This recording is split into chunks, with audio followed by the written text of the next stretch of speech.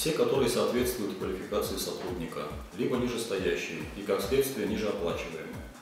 А Нельзя только предлагать вакансии, которые не соответствуют э, состоянию здоровья работника в соответствии с медицинским заключением. А, Нельзя также предлагать работу в другой местности, если только это не а, указано в коллективном или трудовом договоре. Эти положения предусмотрены а, в части 3 статьи 81 и части 1 статьи 180 Трудового кодекса. Прежде чем издать приказ о сокращении, составьте должностную инструкцию по всем вакантным должностям, которые у вас имеются. Так можно будет определить, отвечает работник э, квалификационным требованиям или нет. Тогда все вышестоящие должности вы можете не предлагать. И если нет других, уволить работника.